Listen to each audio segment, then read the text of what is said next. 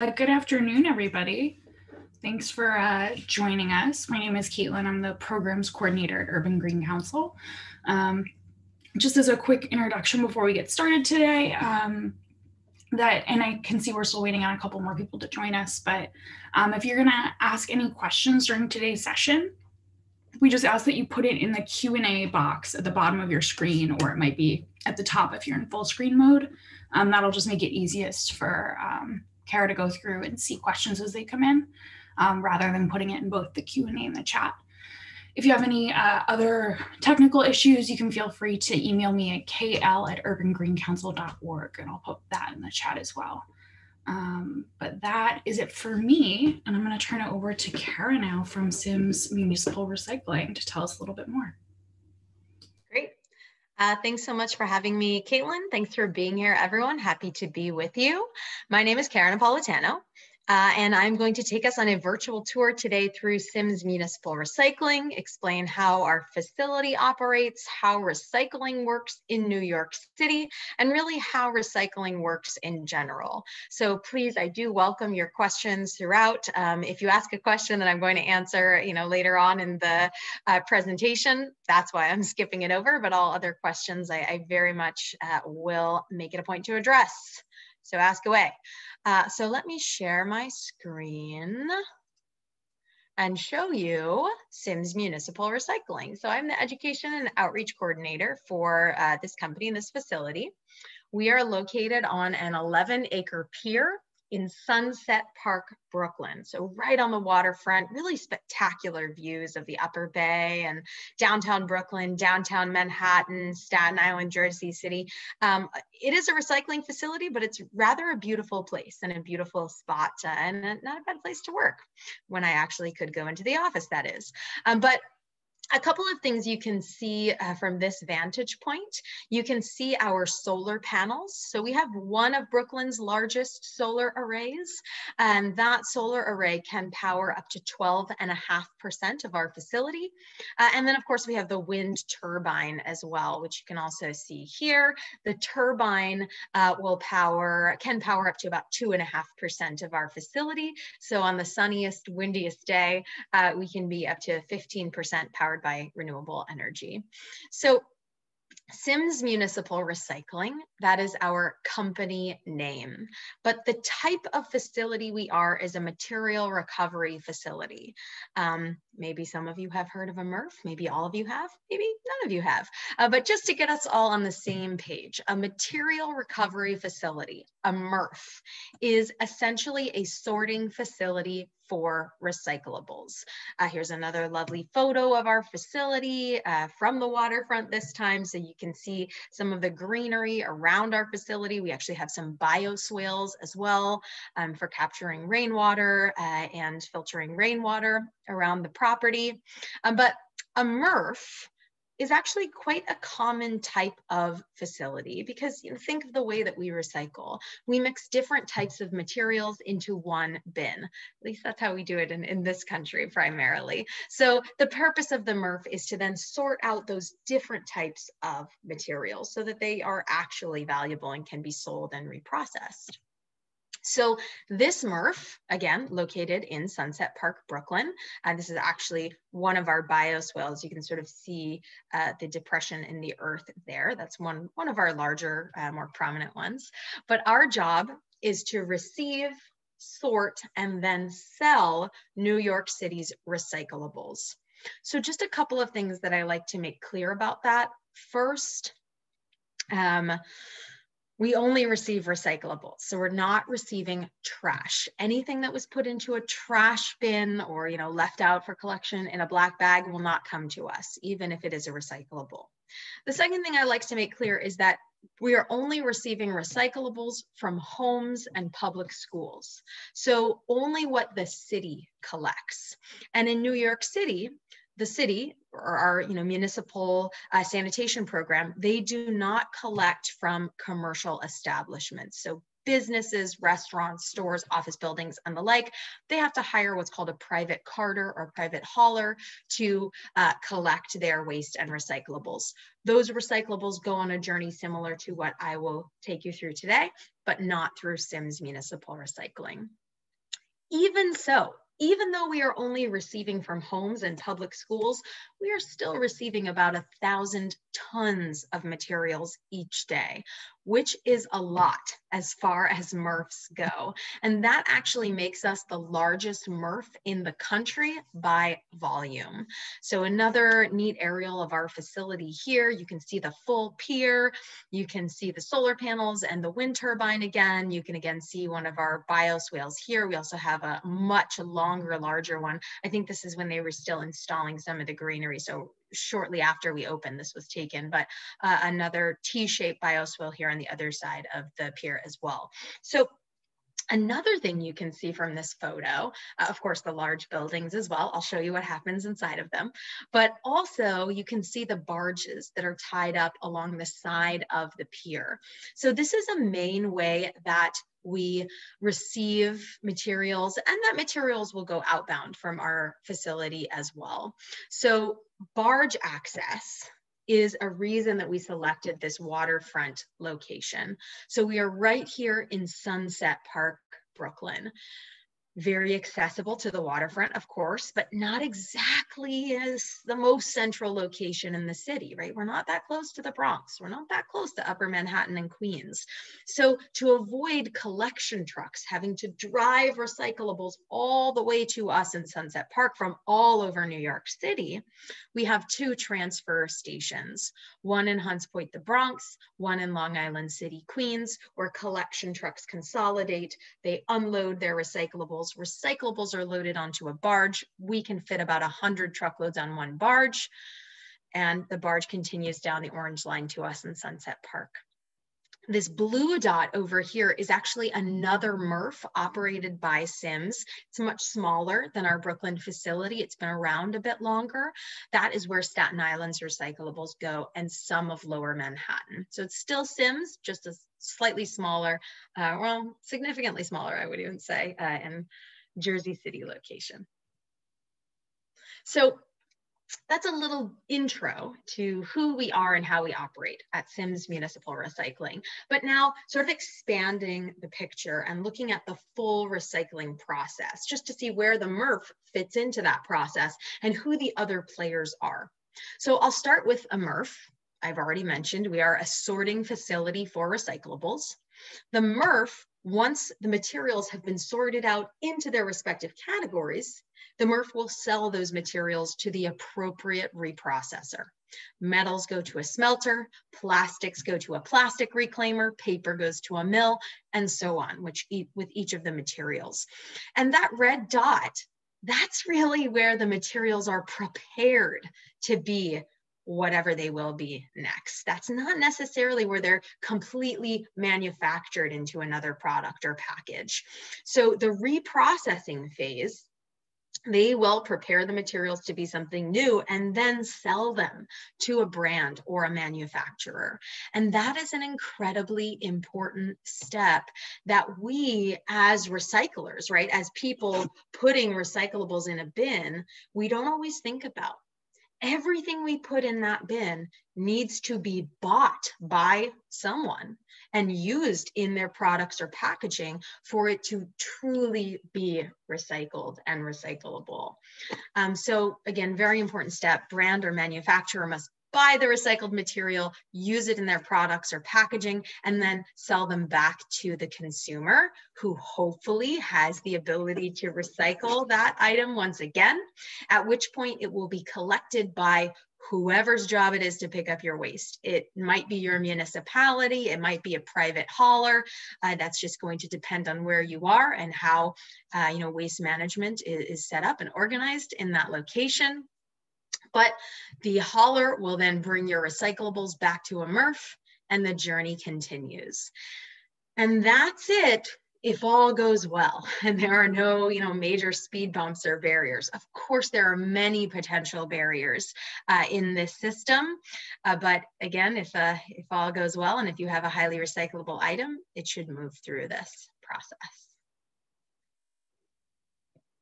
All right i will get to that. Don't worry I see the question. So at Sims. We receive New York City's recycling. So what is accepted in New York City's recycling program? Uh, I will focus on New York City in this section. This also, this tends to be a hot slide with a lot of questions. So you're welcome to just send them in. Um,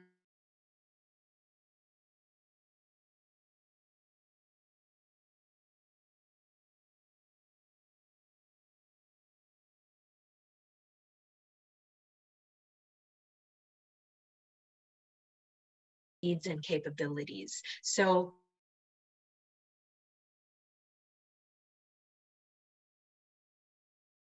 recycling program. Oh, sorry, I might freeze.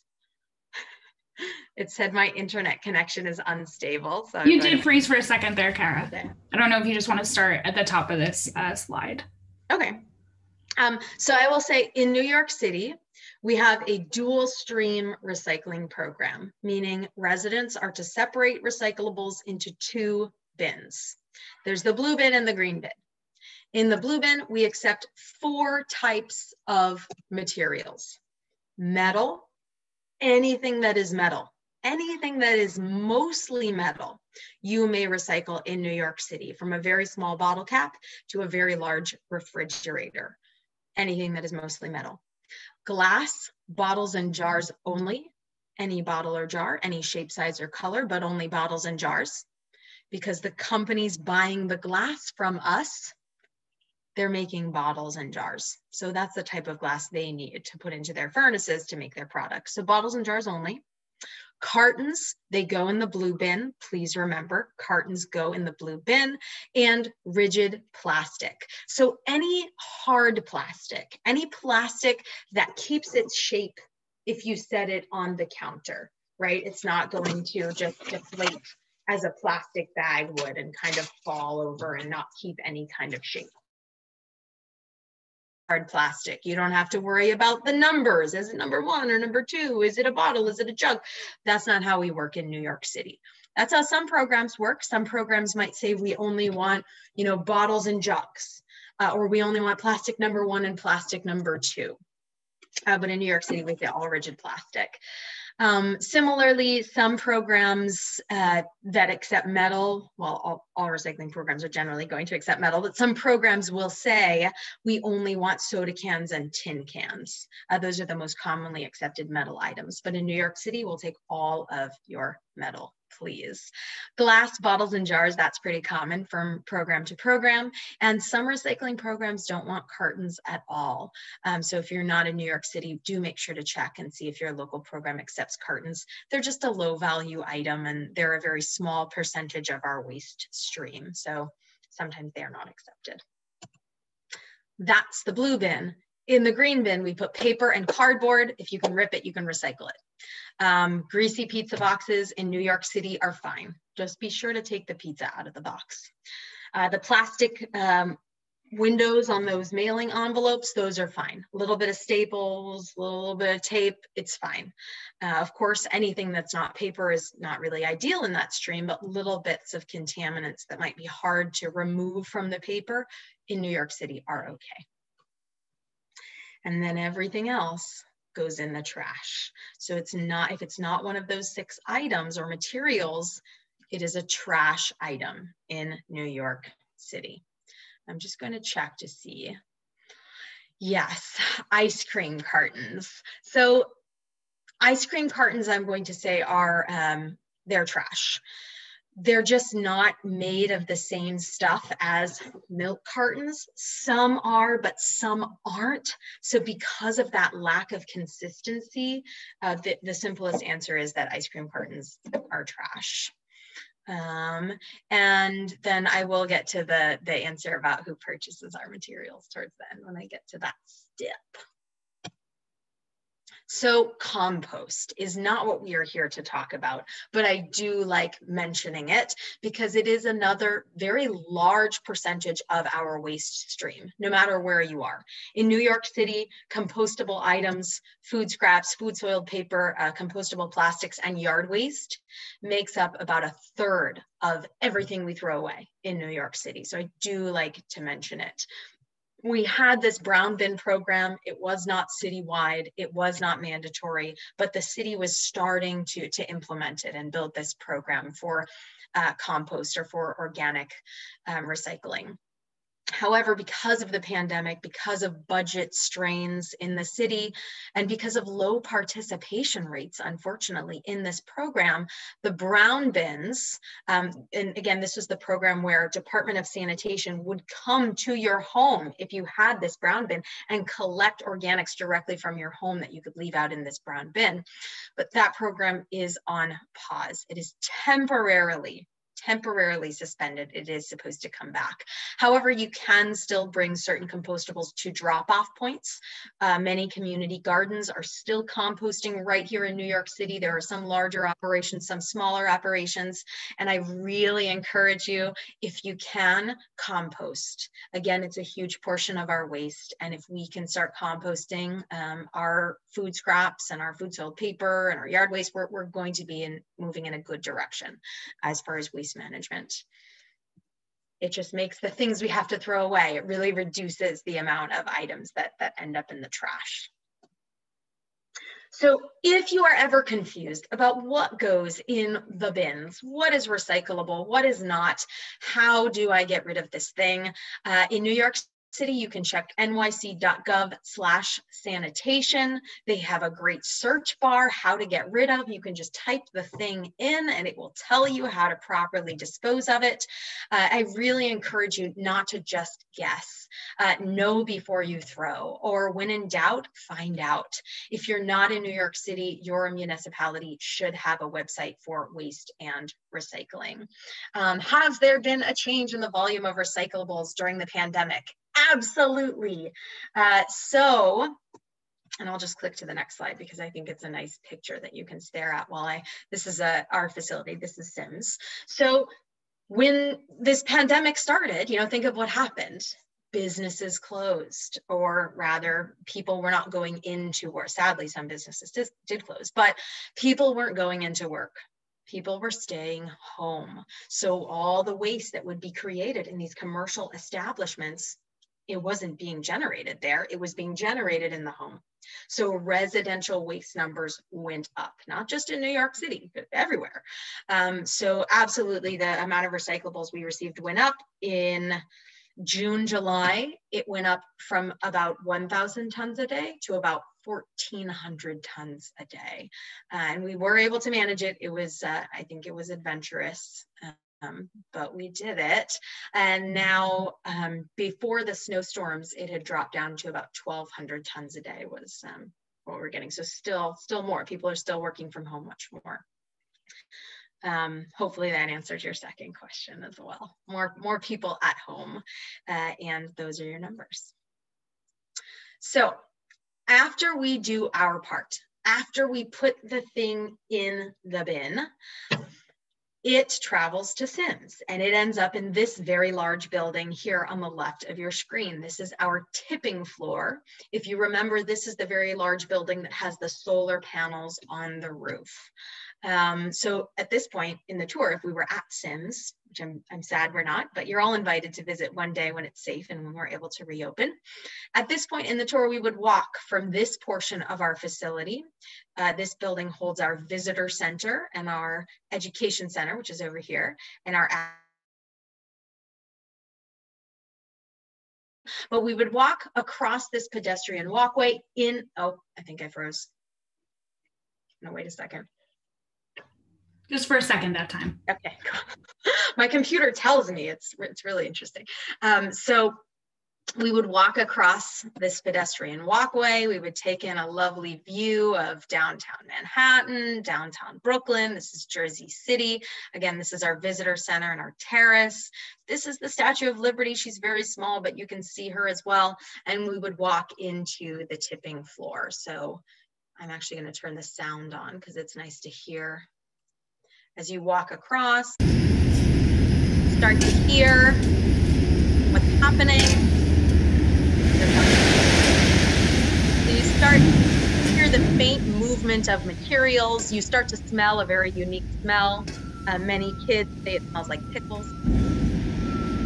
And then you see the pile, the giant pile of mixed recyclables that have come to us from all over New York.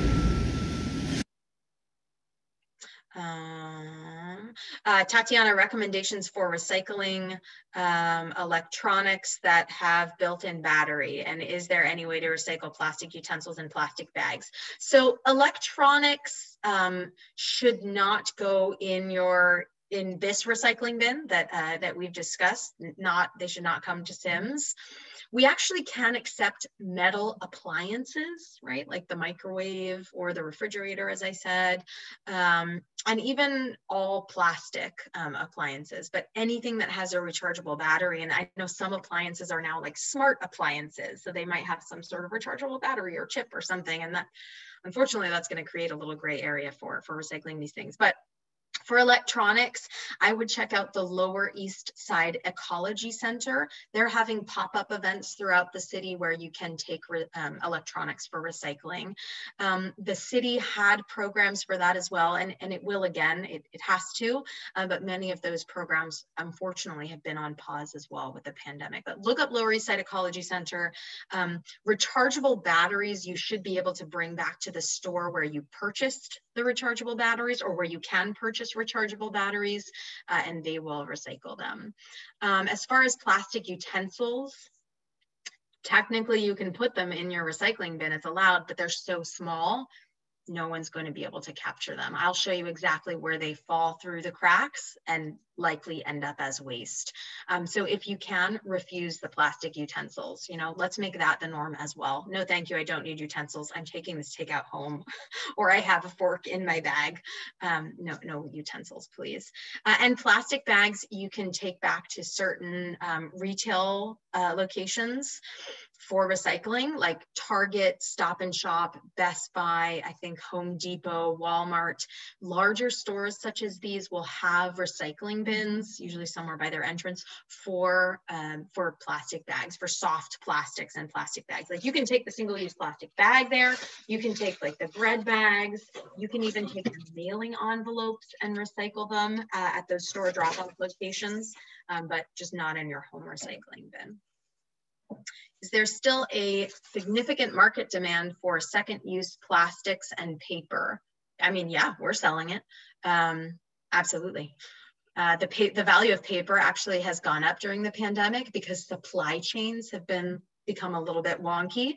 Um, so uh, paper mills and paper manufacturers have actually come to rely on recycled paper a bit more during the pandemic.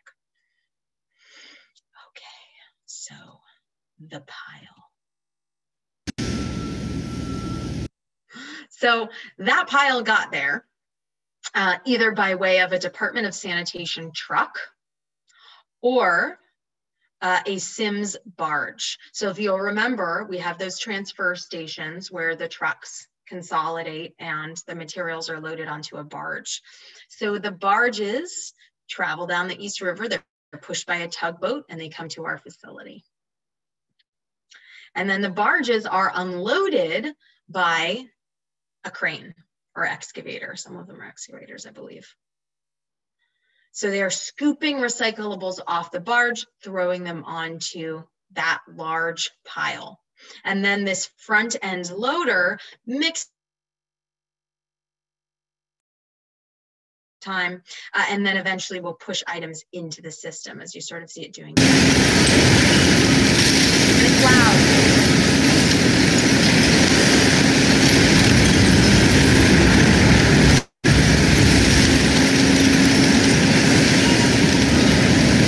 pausing for a moment because I think I may have froze again.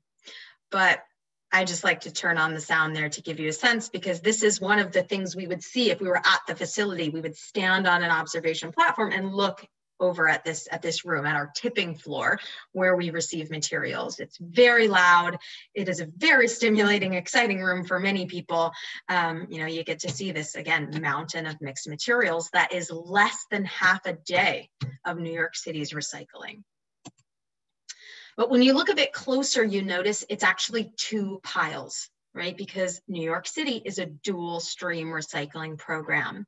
Much of the country operates single stream recycling programs where the paper would be mixed as residents we would put everything in one bin uh, that just means that you know those municipalities are utilizing MRFs that have more technology to sort the paper as well not just the metal glass plastic and cartons um, for us in new york city we remain dual stream for many reasons uh, one reason to contemplate is we would need such a bigger MRF if we were going to sort the paper out as well. We already have the largest MRF in the country just sorting out the metal, glass, plastic, and cartons, which is about a thousand tons a day. Paper recycling in New York City is about another thousand tons a day. Um, so that would really up uh, the size of our facility, the scale of our facility, and um, the technology that we needed in our facility. So we receive at Sims 100% of New York City's recycled metal, glass, plastic, and cartons, the residential side, of course. And then we receive about half of New York City's recycled paper. And we're sort of a, a, transfer facility for that paper. The trucks that have collected paper uh, in Brooklyn, they bring it to us. We consolidate it onto a truck so larger trucks that we fill with paper, and those trucks are going to go to the paper mill that is on Staten Island that receives most of New York City's recycled paper. This paper mill is called Pratt Industries.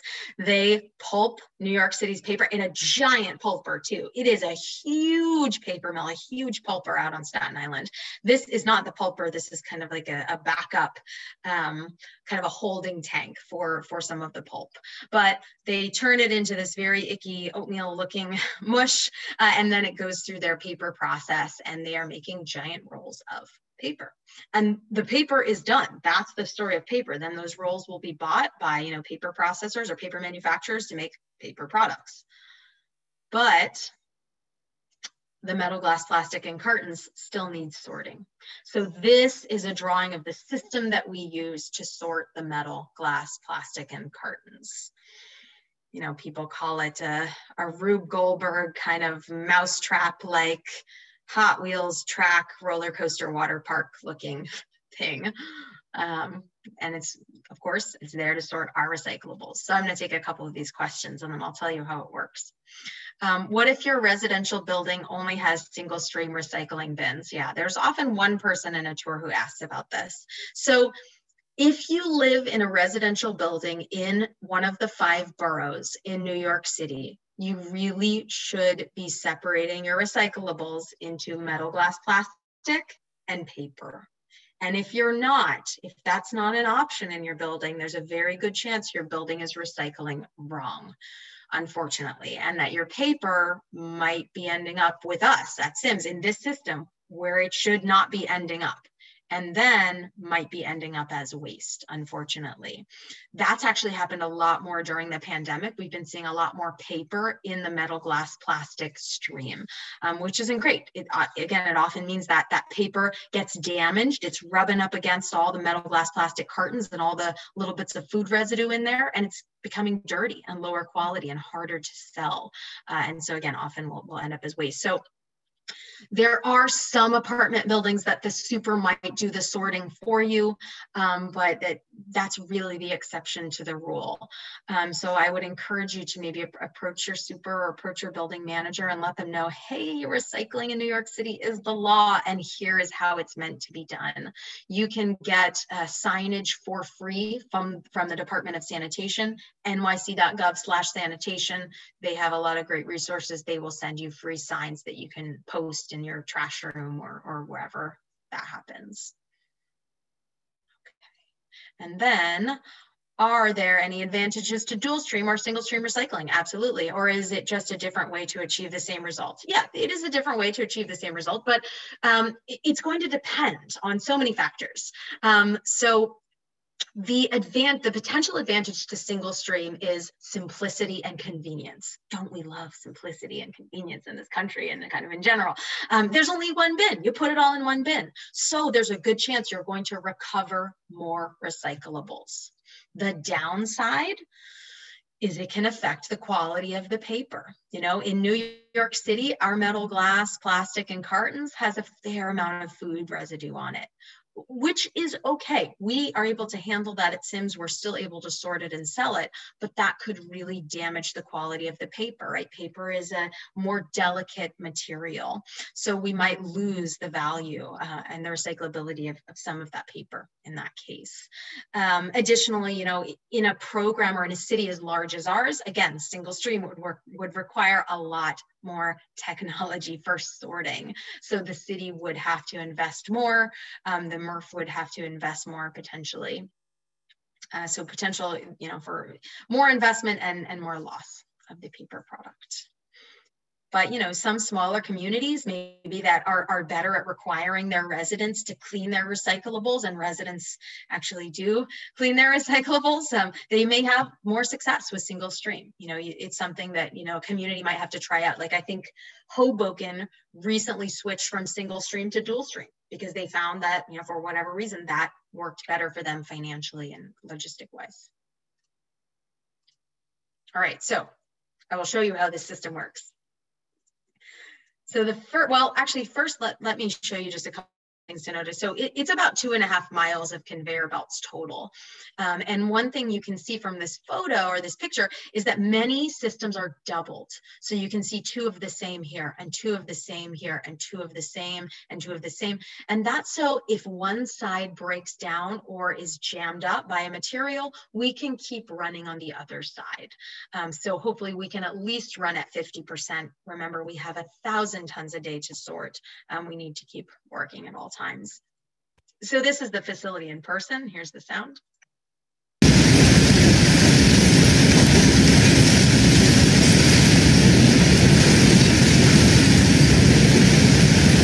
The system is operating 24 hours a day, five, sometimes six days a week. It takes about 33 humans to operate this facility during one shift. Of course, you see all the safety posters as well. Safety truly, truly is number one um, for us and in facilities like this in general. So here's how it works. Here are the steps. First step, we need to load the system. We need to get that giant pile into that giant maze of conveyor belts. So the front end loader here pushes materials in to the entry point right here. Our view is going to flip. And you see after the front end loader pushes materials in, they travel up this conveyor belt here.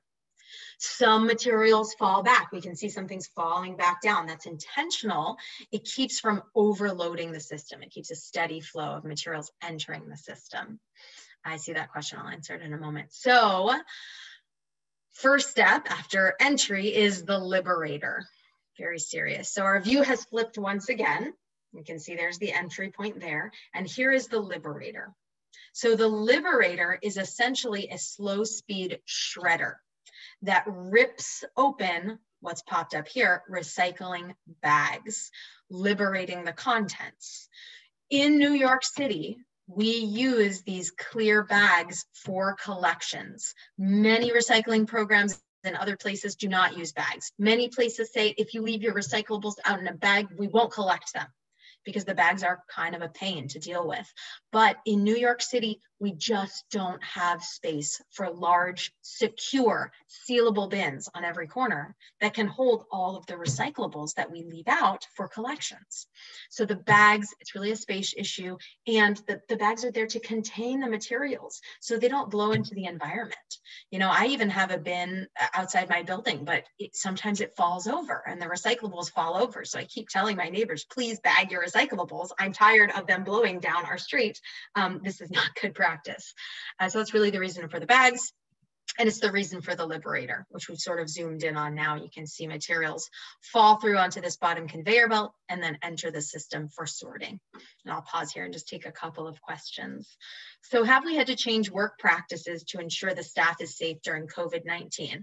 Yes, absolutely. You know, we're certainly no stranger to personal protective equipment in a facility like ours, but of course not everyone is wearing masks.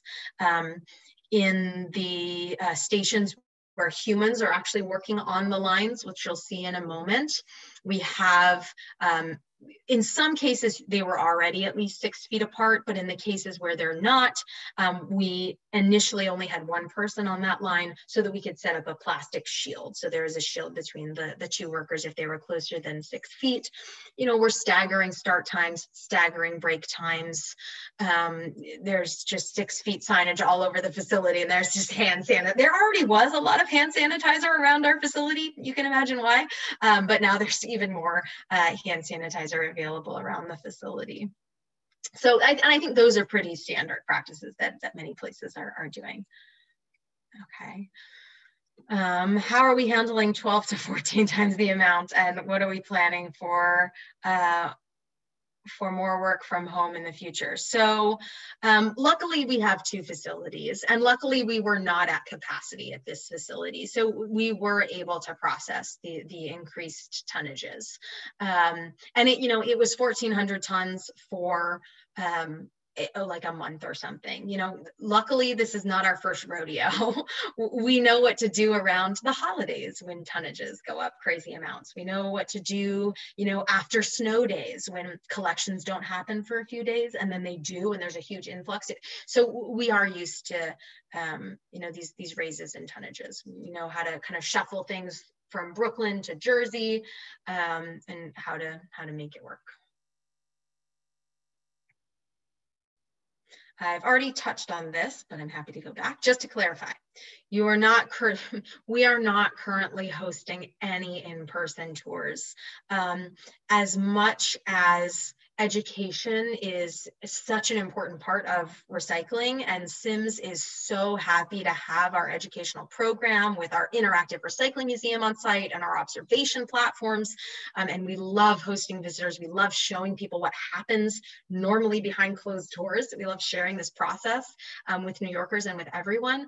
Um, while that's important to us, our main purpose is to process New York City's recyclables. So we need to keep our workers who are doing that as safe as possible. So we really, unfortunately, we can't be in any kind of a hurry to, to welcome visitors back on site.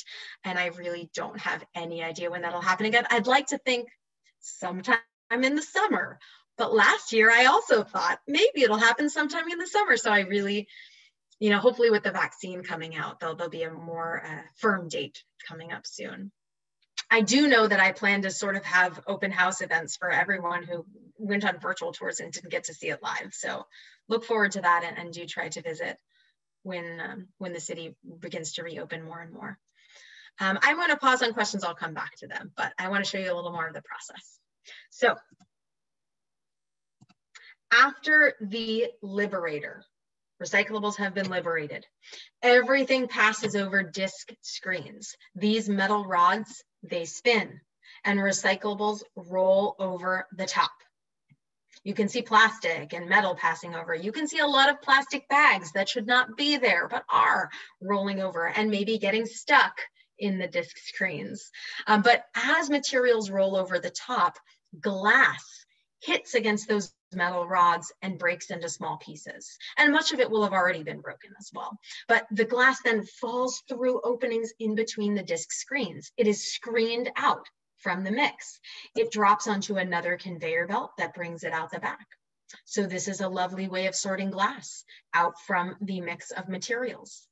It also removes everything that is less than about two inches in two dimensions all of this material goes to a glass plant, which is sort of like a MRF, remember material recovery facility. That's what we are, sorting facility. The glass plant is like a sorting facility for glass only. So it's going to sort contaminants out of the glass stream. It's going to sort the glass by color. Um, we're able to sort out little pieces of metal with magnets and reverse magnets, but little pieces of plastic like the forks, the straws, um, all other small plastics they generally end up as waste. This is not something happening at our facility only. This is happening at MRFs in general across the board. Um, so one small thing you can do, uh, leave the plastic caps on the plastic bottles so that they make it through the system. Plastic stays with plastic uh, and that goes for, that goes for cartons as well. You can leave the plastic cap on. So that is glass. Oh, and I left the, the glass plant on there. That's exciting. So at our glass plant, Um, this is a magnet pulling small magnetic metals out of the glass mix. And then an opposite magnet you can see little bits being repelled. These are little bits of non-magnetic metal being repelled from the glass stream. And then you see the color is mixed here after we've removed contaminants. You just have different colors of glass that go under a special scanner that can identify the different colors and then we can sort out only clear from only brown from only green which raises their value most of this clear glass will go to a glass furnace and become another bottle or jar. Oh, I have this in there as well. That's so funny. Um, so Nespresso also, they invested in, uh, in our facility so that in New York City, if you like Nespresso, you can toss your Nespresso pods uh, right into your metal glass plastic bin. They will fall through, end up with our glass, go to our glass plant. Uh, Nespresso helped us invest in a powerful eddy current or reverse magnet to repel the pods out of the glass stream. And then they helped us invest in a special shredder to shred the aluminum pods, remove the coffee grounds, and then recover the aluminum. So it's kind of cool. Nespresso also has a, a take back program where you can send the pods back to them and they recover the metal and I believe the grounds inside as well. And I, Nespresso did not pay me. I'm just letting you know. uh, how what they've done, how they've worked with us. So um, back at the Brooklyn facility, back at the Brooklyn MRF, after materials pass over the disc screens and the glass is removed, everything passes underneath a drum magnet, a large spinning drum with a powerful magnet inside. You can see the ferrous metals attached to the magnet and drop off onto another conveyor belt. And we've sorted out the ferrous metals. Uh, question about Nespresso, I'll answer that now. Are the Nespresso pods recyclable for commercial hauling in NYC as well? It's uh, maybe, but I, I, can't really answer that. Commercial haulers, there are many of them in New York City and they all operate a little bit differently. So just residential is, is what I can say for sure about the Nespresso pods. Just take take your Nespresso pods home and recycle them in your home recycling or send them back. You know, maybe if your business has a, um, has a machine, then you can all collect the pods and then send them back to Nespresso. That would be the best way to do it if you wanted to do it from, from work. Great. Uh, so any materials that are not uh, attracted by that drum magnet, at the end of the line, at the end of the process, they will be ejected any metal materials, sorry, that they will be ejected by the eddy current. So the eddy current ejects non-ferrous or non-magnetic metals. Things fall into this conveyor belt, they receive a charge, then eddy current is here and repels over the barrier there. So that's metals. So then ballistic separator, um, where we separate two-dimensional from three-dimensional materials. So you can see this angle here. The ballistic separator works, it almost reminds me of an elliptical, you know, at the gym that move like this, but they move very fast. So watch what happens. Two-dimensional items like this big plastic sheet and this paper, it gets walked up to the top and falls over. Three-dimensional, rounder, heavier items roll down. So we've separated the stuff that shouldn't be in the system from the valuable things that we do actually want. This is my favorite, this thing bouncing around here. It's a, a bag full of bags, probably. We get a lot of those. Yeah, we should not be getting any of those. So then for plastics, to sort plastics and cartons, we use optical scanners. These are like very fancy cameras using near infrared light. Materials fly by on the conveyor belt and pass under this line of light here. That is our optical scanner.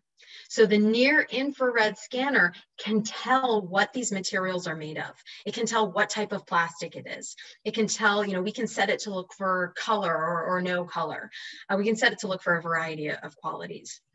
So when it finds what it's looking for, it turns on a jet of air at the end of the conveyor belt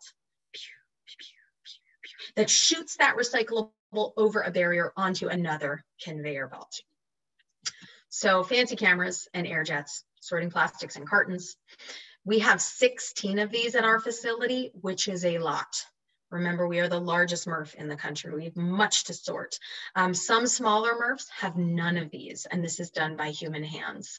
Um, some uh, MRFs might have one or two, we, we operate with 16 of them, which is one reason we can say, hey, New Yorkers, put all rigid plastic in the bin. We can sort out the different types of plastic. We can sort out what's valuable from what's not. Um, so I will pause and take a couple of questions. What do I think about alternatives to single-use plastic um, garbage bags for our recycling, like compostable plastic bags? So the last that I heard about compostable um, bags for actual recyclables um, like for for non-compostables or for trash is that they're just not strong enough and that might change um, they, they, you know they might create a, a, compostable plastic bag that's a bit sturdier and can hold materials um, but they what i know about them now is they just tend to rip a little more than um, we need that kind of bag. We need it to be a bit sturdier, unfortunately. And even if a compostable bag comes to us at Sims, we're still going to have to sort it out from the mix. Um, it's not necessarily going to be any easier for us um, if it's compostable. And if it ends up in a landfill, I, I don't honestly know, but I, I do know that anything that breaks down like an organic in a landfill does emit methane. Uh, many methane, many landfills are capturing methane now uh, and using it as an energy source. More and more are starting to do that, but um, I'm all for innovation. We just have to know that you know innovation takes time to build out its its full system. So compostable bags, cool, um, but I think they have a ways to go.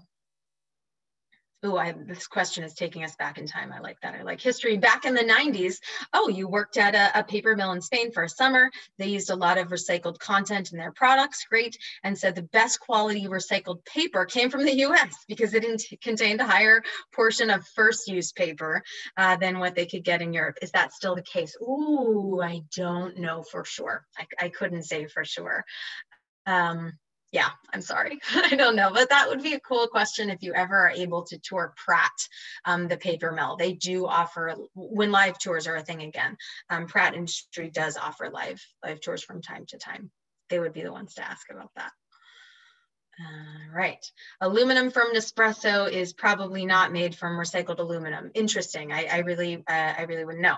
Um, if it is good, yes, using recycled content is great.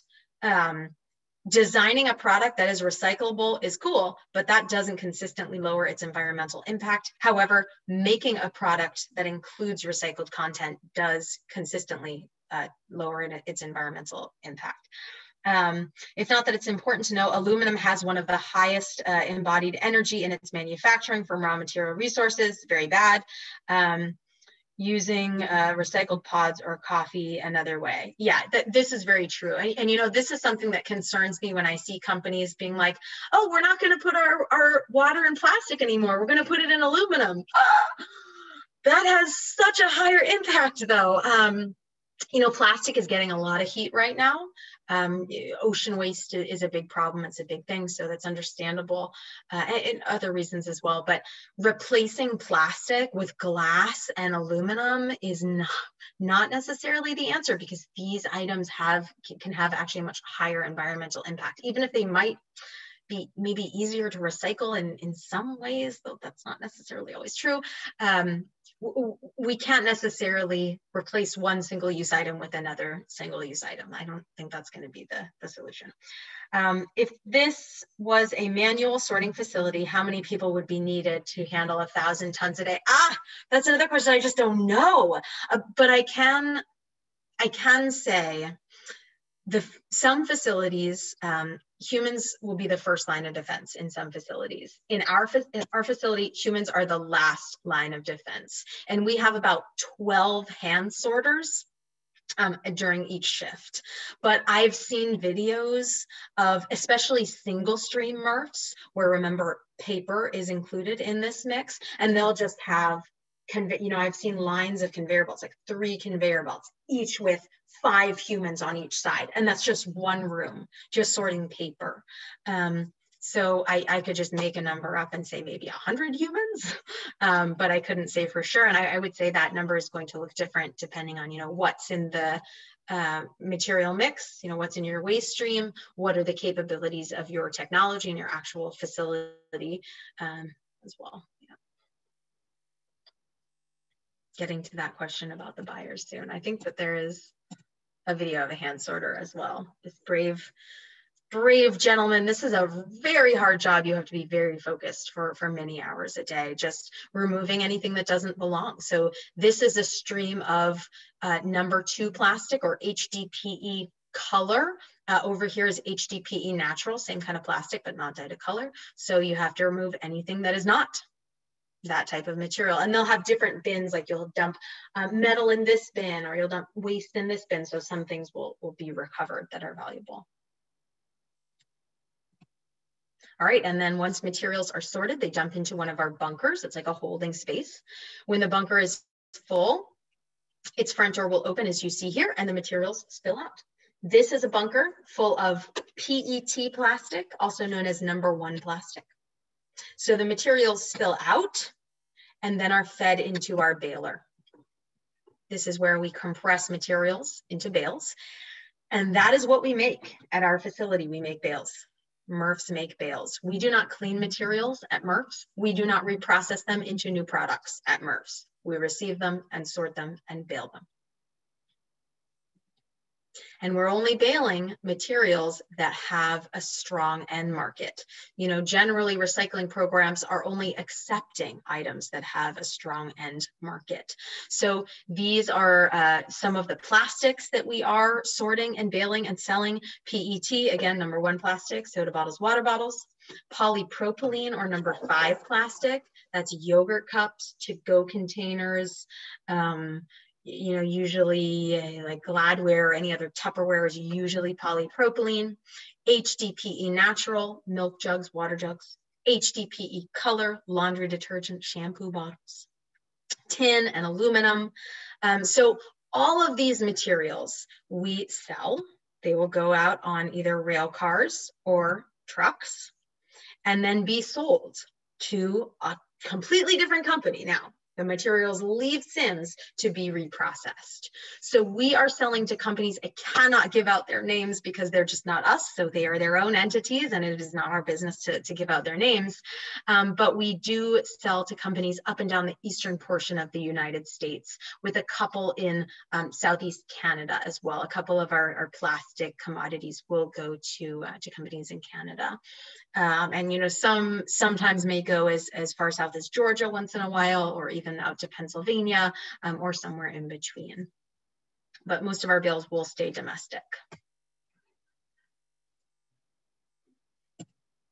Oh, and let me go to what's next. So bales leave and are reprocessed. So if you remember in that pinwheel from the beginning, right, the, the reprocessor and then the brand owner or manufacturer. So plastic water bottles will go to a plastic reclaimer. They will shred the plastic up into flakes and wash it and remove contaminants like the labels.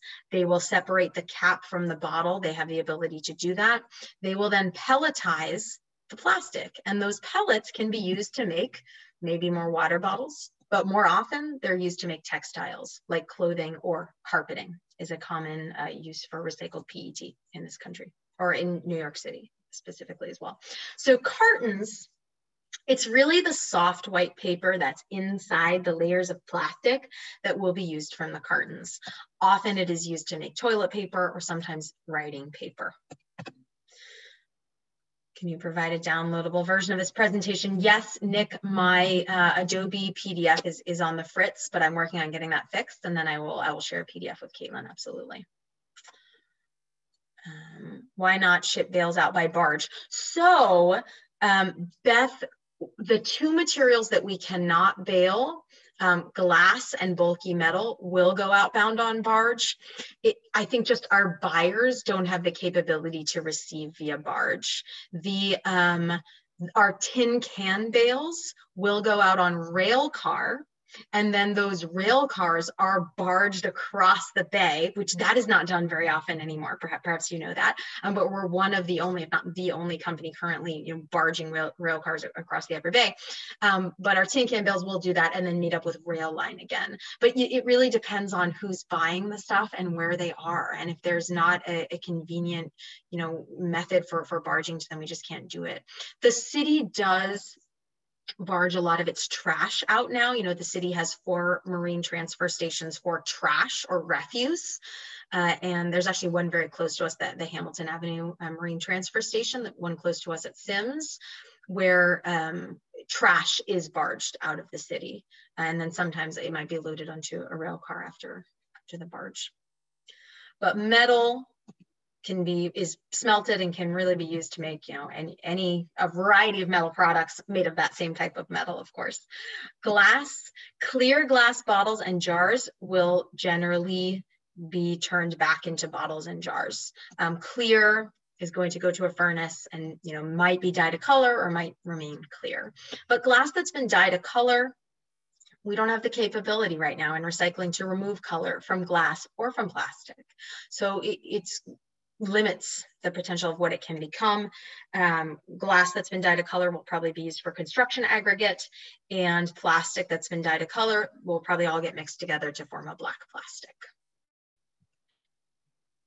All right, so this is the point I like to end on. Do feel free to send more questions and now I'll get to as many as I can. I talk about recycling in these tours. I get sometimes very excited and passionate. I am passionate about recycling. Recycling is good. Recycling is helpful. Please participate in your local recycling program. Recycle and recycle right. Just know recycling in itself is not a solution. It is a small piece of a much larger waste management pie. And the larger, more impactful pieces are reduction and reuse. These are not necessarily the norms for us for how we operate with materials, but I encourage you to consider these practices and how you can incorporate them into your lives. Um, reduce, reuse, recycle, that is the order of those R words. And those R words are more than just a cute song that we teach the kids. They're real practices that, again, I, we all need to contemplate and, and incorporate. So if there are any last questions, I'd be happy to take them now. I'll just kind of wait and say nice things. Okay, the hand sorting sounds challenging. Yes, it is. If something is missed, which of course happens, um, how is it handled along the lines? So we are allowed a certain amount of contamination in our bales. Like generally, it can vary from you know deal to deal, company to company, material to material, but generally about five percent, maybe lower, contamination is acceptable in the bales. When our bales go to the next step, uh, if you remember the the reprocessors, many of them will do another quick sort. Like the plastic reclaimers, they might have another optical scanner at their facility, or they might have another hand sorting step at their facility um, just to sort of just to kind of take care of, of that margin of error. Um, smelters, depending on the smelter, they might just throw everything in the furnace and just burn it all together, depending on how they operate. But yes, our, our ideal is to have our, our um, hand sorters really, really be on it. And we have some really lovely employees that, that are really on top of it, luckily. All right, so I will say nice things for a moment in case anything else comes through. So I thank you so much for having me. I, I love, you know, sharing this information and just kind of revealing what's behind the recycling curtain. Um, I do very much hope you will stay informed about your local recycling program, wherever it may be, and that you will participate in it. And when in doubt, find out, you know, look it up. Um, feel free to email me as well. I am, I'm here, I'll pop my email up. Everyone, please stay safe um, and take care of yourselves out there. A couple more questions, that, which I will get to as well. Um, what exercises or rest practices are used to help the hand sorters? Oh, is there such a thing? You know, not that I know of, um, but that is something that I will will recommend actually as a previous my previous life yoga teacher. Um, that that's really that's an excellent idea. And I, I, will ask about that. There might actually be something that they do but i'm not aware of it. Um, do you need to wash out every plastic food container and metal can? Tatiana it is good practice to wash your recyclables. Um, don't waste water. Uh, but in New York City, they don't have to be perfectly clean. Some recycling programs might say, as a part of their literature, they might say, wash your recyclables, dry your recyclables. If your local program says that, do that. But in New York City, a little bit of food waste is it's okay on the metal, glass, plastic, and cartons. Just don't go sending us like full containers because then it's just too heavy and we won't be able to sort it. So full, half full, a quarter full, we don't want that, please. Thank you all so much for your attention. Do feel free to reach out, follow us on social media. Stay in touch.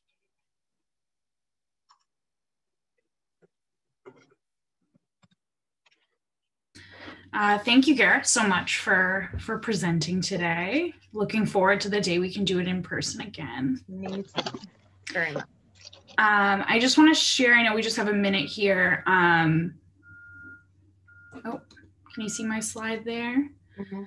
Uh, just the we have a new urban green live coming up um, in on march 23rd that was just uh, published yesterday.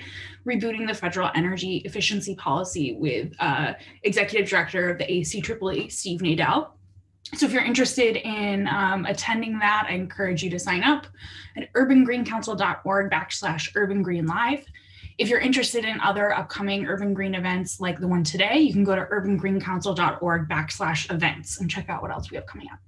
So that's it from me. Thank everybody, and have a great day. Everyone, take care.